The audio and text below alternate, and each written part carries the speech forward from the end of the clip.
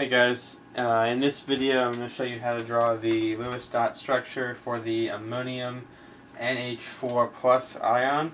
So here we go. Got ammonium, which is NH4 plus, so it's an ion.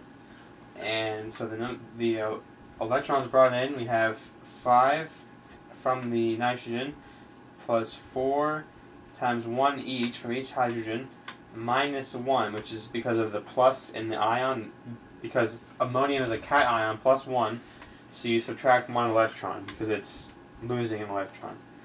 So the total number of electrons here is going to be 8 valence electrons. Okay, so because it's hydrogen, we can't really do the, the, the little trick that I, I typically do for um, Lewis structures. So let's just go ahead and start to draw this out. You have nitrogen in the center because hydrogens cannot be the central atom. And you have four hydrogens. And we can go ahead and connect those with single bonds. And if you notice, that is 2, 4, 6, 8, 8 valence electrons. So that is actually the correct structure. However, we are forgetting one thing.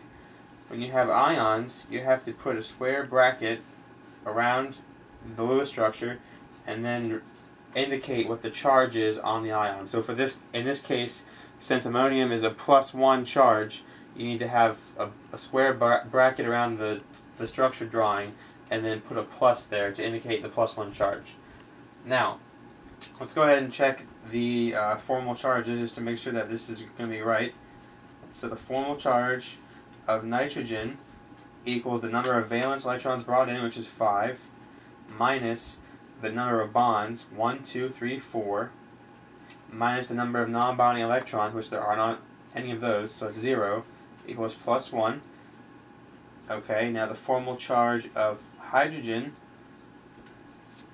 is going to end up being, if you look at this one, formal charge is um, one valence electron brought in minus one bond minus non-bonding electrons, and there's none of those, so that's zero. So if you were to sum up all of the formal charges for each hydrogen and then the one for the nitrogen, it'd be plus one, plus zero, and, and then all of the zeros, and that means that the overall formal charge is plus one, which matches the charge of the ion, and that is actually exactly what has to happen. So when you have an ion, the formal the sum of the formal charges must be equal to the charge on the ion itself. So this is the correct structure. This is this is this is accurate, and we can go ahead and look at the shape. Since there's one central atom and four surrounding bonding sites, it's going to be an AX4 shape, which means it is a tetrahedral shape because none of them are um, lone electron pairs and the uh, bond angles